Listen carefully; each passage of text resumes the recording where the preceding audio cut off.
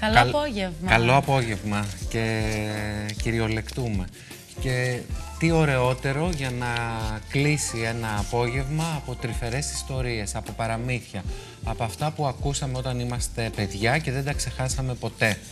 Απέναντί μας έχουμε έναν άνθρωπο, ένα δάσκαλο, όπου την αγάπη του για την προφορική μας παράδοση την έχει μετουσιώσει σε έρευνα και σε συγγραφή. Να τον καλωσορίσω και μετά θα τον ρωτήσω πόσα βιβλία περίπου έχει γράψει. Είναι ο, ο δάσκαλος, ο κύριος Χουρδάκης Αριστοφάνης. Δάσκαλε, καλώς ήρθατε. Καλώς σε βρήκαμε, καλησπέρα σας. Τι κάνετε; Πολύ καλά ευχαριστώ και ευχαριστώ πολύ για την πρόσκλησή σας. Είναι ευγενική σας πρόσκληση. Εμείς ευχαριστούμε. Πόσα χρόνια περάσατε στις έδρες της μέσης εκπαίδευσης, πόσα χρόνια δάσκαλος; Το δημοτικό. Ναι, τι, σω- σωστά, της πρωτοβάθμιας εκπαίδευσης. Πραγματικά εργάσιμα 33. 33 χρόνια. Αλλά δεν σταματήσατε να ασχολείστε με τη μελέτη, την έρευνα και το γράψιμο ποτέ νομίζω. Ε, μπήκα σε μια άλλη φάση μετά τα 33 και έχω τώρα 25-26 χρόνια συνταξιός. Τον ελεύθερο μου χρόνο τον έχω, τον διαθέτω για την παράδοση. Όλα αυτά τα χρόνια, τον ελεύθερο μου χρόνο και πρώτο διότι μ' αρέσει και δεύτερο καλύβω ένα, το κενό του συνταξιούχου. Δεν μπορεί ένας άνθρωπος να είναι δραστήριος μέχρι τα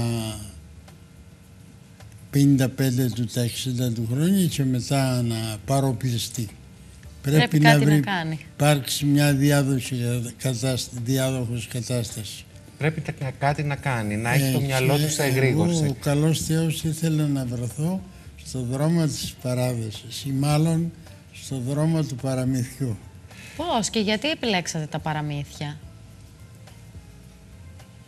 Ε, είναι μια μεγάλη ιστορία. Να την πούμε. Να την πούμε. Α, εμένα μου άρεσαν ανέκαθα αυτά τα παραμύθια, οι ιστορίες αυτές. Ε, και επειδή είμαι από ένα χωριό μικρό μεν, αλλά είσαι πολλή κουλτούρα γύρω από το παραμύθια. Ποιο χωριό; Αγία Παρασκευή Παιδιάδος, δίπλα από το Καστέλι, νοτικά από το Καστέλι. Ε, και είχα ακούσει πολλούς παραμυθάτες, κυρίως γυναίκες. Ε, αυτά τώρα μετά γυμνάσιο, μετά ακαδημία, μετά επάγγελμα, μετά οικογένεια, μετά παιδιά. Όταν βγήκα λοιπόν στη σύνταξη, είχα πάει στο χωριό ένα Σαββατοκύριακο και στο καφενείο μέσα μεταξύ του και Αχλαδίου λέω σε κάποιο παραμυθά από τους παλιούς που ήξερα θυμάσαι να μας έπεισε κανένα παραμύθι έτσι για πλάκα. Και μου λέει παραμύθια τώρα μου λέει δεν τα λέμε τα ξεχάσα πάντα παραμύθια. Αλλά την άλλη Κυριακή που πήγα στο χωριό μου λέει έλα να σου πω ένα παραμύθι. Με κοίταζα λίγο λίγο μετά του λέω δεν μου χρειάζεται. Και του κακοφάνησε. Αλλά εγώ είχα το λόγο μου. Ήρθα στη Ηράκλη, αγόρασα ένα μαγνητοφωνάκι, αλλάξαν τα πράγματα. Είναι κόπος να κάθεσαι να σου το υπαγορεύει να το γράψεις. Και την επόμενη φορά πήγα στο χωριό, του λέω έλα να μου πεις το παραμύθι. Εδώ σου κατέβηκε η όρεξη. Λοιπόν, αρχίσαμε από εκεί το πρώτο παραμύθι. Εγώ νόμισα ότι το παραμύθι ήταν μια χαμένη υπόθεση. Δεν είναι τελικά Για χαμένη το υπόθεση; λόγο ότι από τη δεκαετία του 60, δηλαδή από το, από το 60 που μπήκε στη ζωή μας τηλεόραση, το ραδιόφωνο, αλλάξαν τα πράγματα. Και δεν, λιγοστέψαν οι αποσπερίδες, οι βεντζέρες, λιγοστέψαν οι παραμυθάδες και δεν ε, νόμιζα ότι δεν υπήρξε. Όμως είδα σιγά σιγά από το χωριό μου ότι υπήρχε παραμύθι. Και από τότε ξεκινάει. Γράψαμε λοιπόν τα, όλα τα παραμύθια του χωριού, τα έβαλα σε ένα φάκελο, ένα ντοσιέ, τα καθαρόγραψα, τα βάλα σε ένα φάκελο. Είναι αυτό το βιβλίο που δυστυχώς βγήκε 20 χρόνια μετά. Γιατί, γιατί κυνηγούσα τα μακρινά χωριά κύριε Ζερβέ. Λοιπόν, παραμύθια Αγίας Παρασκευής Παιδιάδας είναι τα παραμύθια του χωριού σας. Χρησιμοποιήσατε, θα ζητήσω και από τους συναδέλφους να μας δίνετε και τα εξώφυλλα από τα α, αναρρύθμιτα βιβλία που έχει καταγράψει ο καλεσμένος μας. Ε, αναφερθήκατε σε... Έτσι, έτσι λοιπόν ξεκίνησα από το χωριό. Και μετά πήγα στο διπλανό χωριό, στο παραδιπλανό, στην άλλη επαρχία, στον άλλο νομό και χωράφησα την Κρήτη. Και σχεδόν χωρίς να το καταλάβετε, κάνατε ένα έργο τιτάνιο. Βρίσκατε ανθρώπους, τους παραμυθάδες, σας λέγανε παραμύθια της προφορικής μας παράδοσης, τα καταγράφατε και τα εκδίδατε. Με πολύ δυσκολία, κύριε Ζερβέ.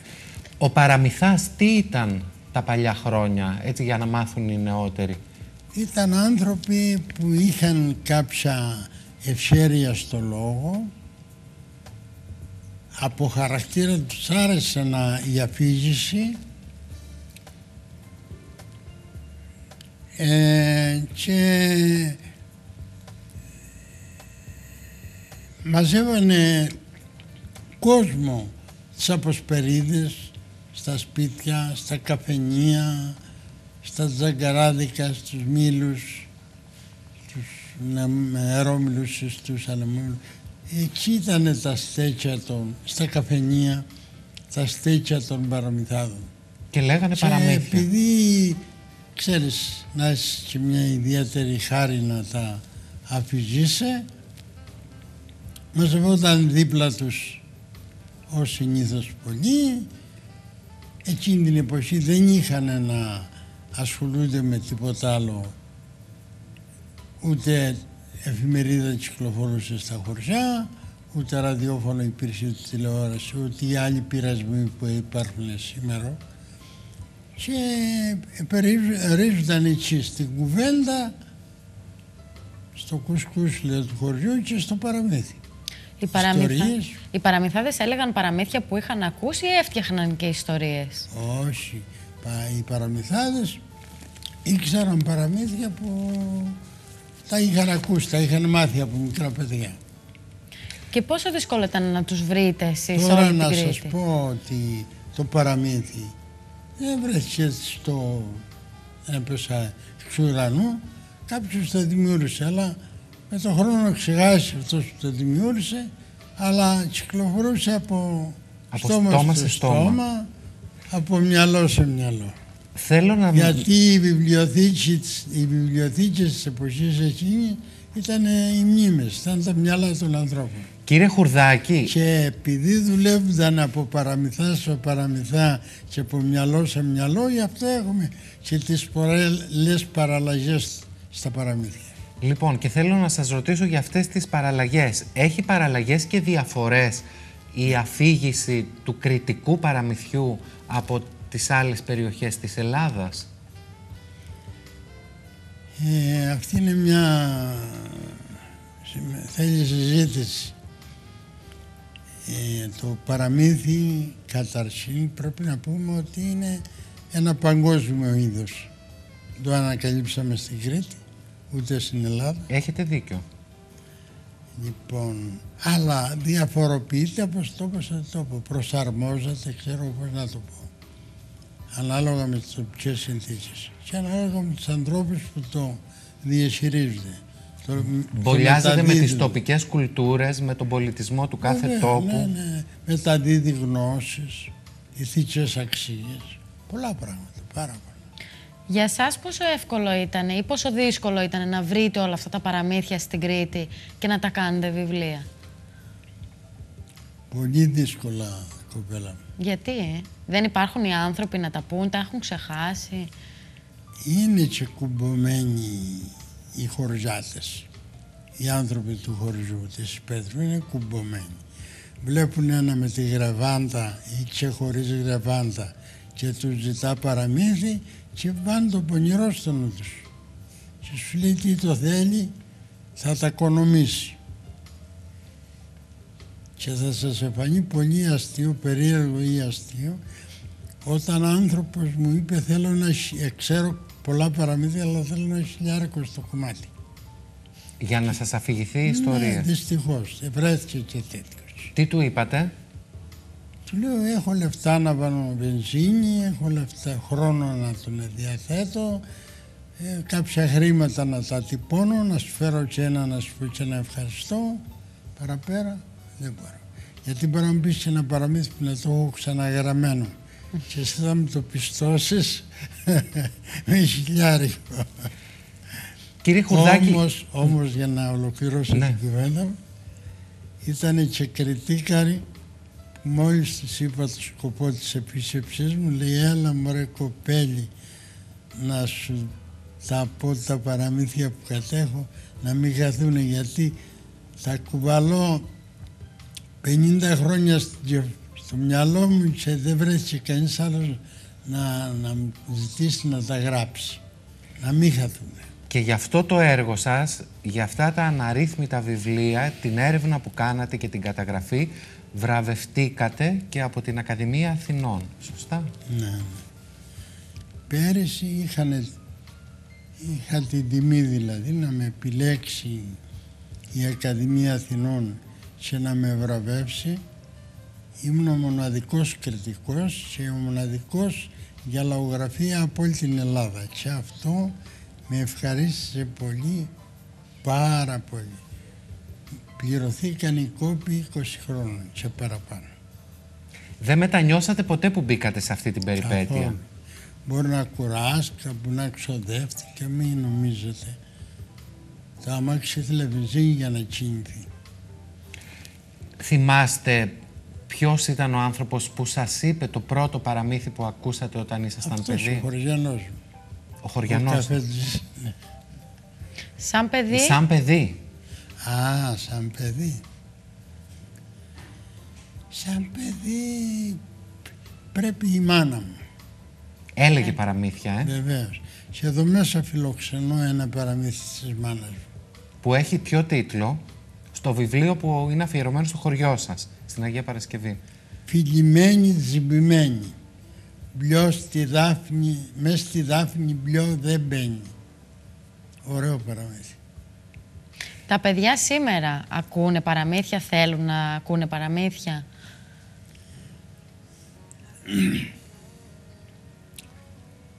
Το παραμύθι φτιάχτηκε για τους μεγάλους. Από το 17ο αιώνα, ένα 18ο, 19ο, φτιάχτηκε για τους μεγάλους. Ήταν για την ψυχαγωγία, η λογοτεχνία των μεγάλων, του λαού. Και έχει μεγάλα παραμύθια. Όχι απλώς νουβέλες με πολλά επεισόδια. Έχει τέτοια παραμύθια αρκετά. Σιγά σιγά μετατοπίστηκε και προς τα παιδιά. Την εποχή Άμα εκείνη... ήταν λίγο σκληρό το παραμύθι, στα Ποσπερίδες θυμάμαι εγώ μικρός και έλεγε ο πατέρας τον παιδιό «Ώρα εσείς να πάει κοιμηθείτε». Να πούνε τα σκληρά ή τα ξετσίποτα, γιατί είχε και τέτοια παραμύθια. Α, είχε και τέτοια Ε, παραμύθια. βέβαια. Έχετε καταγράψει και Ήταν- τέτοια ξετσίποτα. Ναι, βέβαια.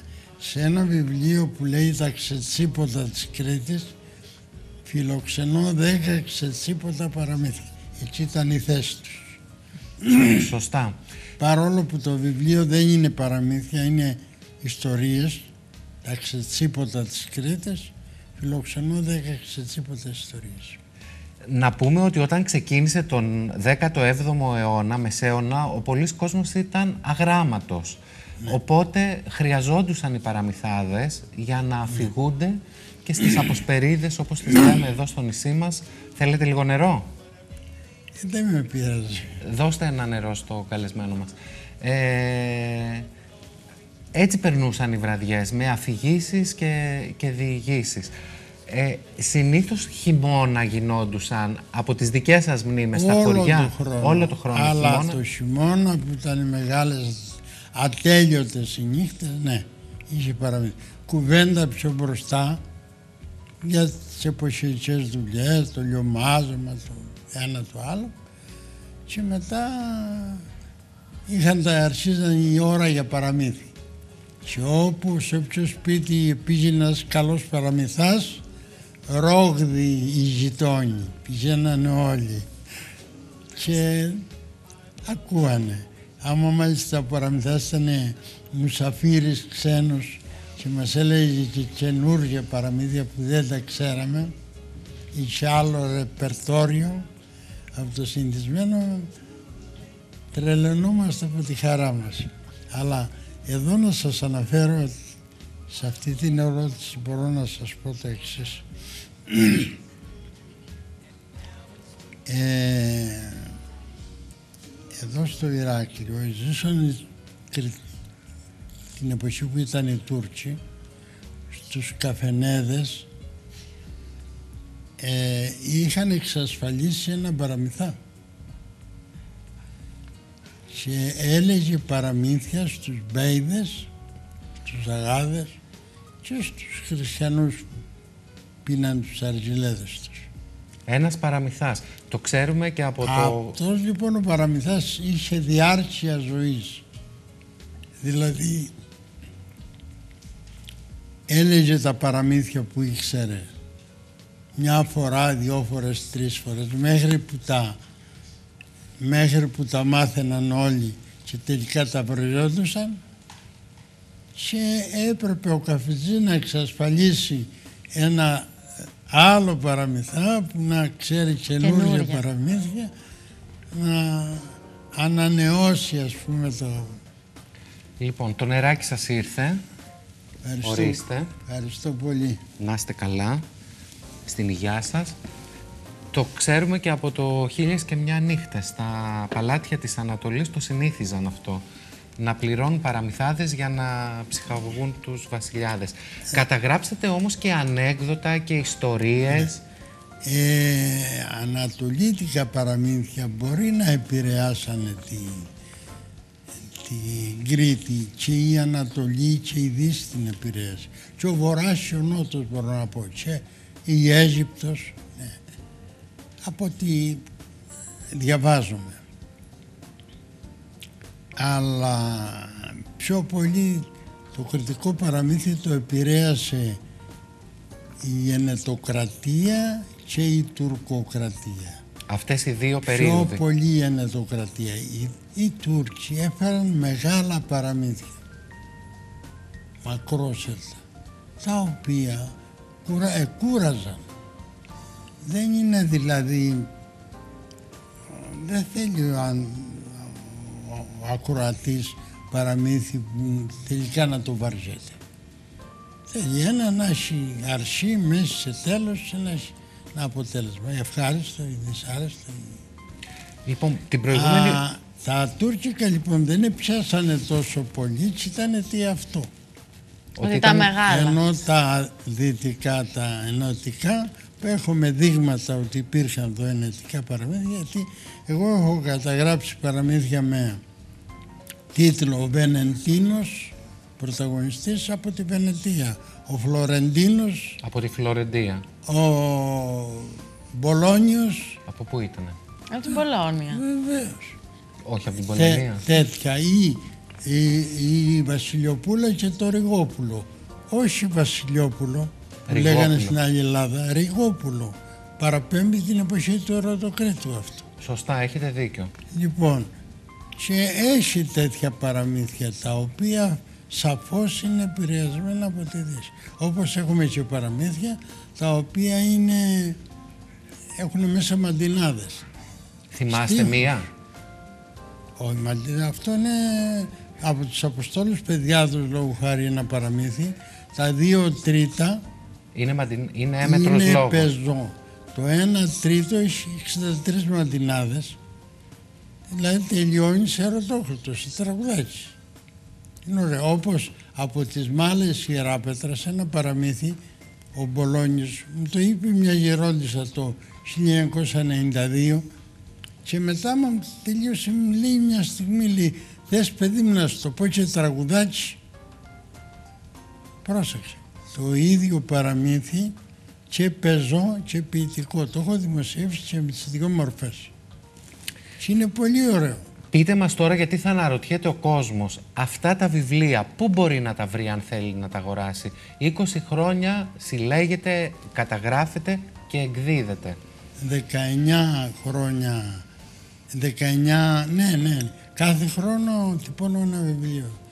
Δόξα σε ο Θεός. Δόξα τω Θεώ. Υπάρχουν τα Ε, Για βιβλία αυτά. μένα, για μένα είναι άθλος. ε. Είναι. Είναι και μπράβο σας. Υπάρχουν τα Και βιβλία. αν δεν τα τύπωνα μόνο δεν θα γινόταν γιατί αυτά δεν τα δέχονταν εκδοτικοί των Αποστόλων της Αγίας Παρασκευής, των Μαλωνή Ράπετρας. Λέει ποιος θα ενδιαφερθεί τα παραμύθια ενός χωριού; Περισσότερο ενδιαφέρον. Εμπορικό. Και ενώ εμείς τα βλέπουμε σαν επιστήμη, σαν συγγραφή, αυτοί τα βλέπουν εμπόρευμα. Άρα τα εκδίδετε μόνος σας; Ναι, μέχρι το 19 μόνος μου. Ε, τούτο εδώ που κυκλοφόρησε πριν μια εβδομάδα, ούτε μια εβδομάδα, πριν Η- τέσσερις Η μέρες. μύθη της Κρήτης. Να το δείξετε, έχει ενδιαφέρον ένα βιβλίο. Η μύθη της Κρήτης Η μύθη- από τις εκδόσεις Μύστης, Μύστης. μπράβο, ναι, ναι. Ναι. Δικές μας εκδόσεις, εδώ κριτικές. Μπράβο, ναι. Το βλέπει τώρα ο κόσμος απ- στην τηλεόρασή Λοιπόν, του. αυτό το βιβλίο έχει ε, το τύπος ο Μύστης. Δεν μπορούσα. Δεν μπορώ εγώ από τώρα και μετά, δεν μπορώ να κάνω τέτοιο πράγμα και λόγω ηλικίας δεν... Αυτά είναι, θα είναι φασαρία, θα είναι αντοχές και εμείς δεν τις έχουμε. Λοιπόν, να σας ευχαριστήσουμε πολύ, να σας πούμε πολλά μπράβο. Για τους μύθους ήθελα να πω δύο κουβέντες. Δεν έχουμε χρόνο να, δεν να το έχουμε. πείτε, μας κόβουν. Τελείωσε η εκπομπή. Είναι απόλαυση να μιλάει κανείς μαζί σας. πολλά μπράβο, να σας έχει ο Θεός γερό, να συνεχίσετε έτσι. Το μυαλό να δουλεύει με χίλια και να κάνετε αυτό το σημαντικό έργο. Ευχαριστούμε, πάρα πολύ. Ευχαριστούμε. Τίποτα. Και εγώ ευχαριστώ να σας είστε καλά. Να είστε, να είστε εσείς καλά. Λοιπόν, και έτσι όμορφα ολοκληρώσαμε. Σας λέμε καλό απόγευμα. Ραντεβού αύριο ξανά. Στις 3 το μεσημέρι. Γεια σας.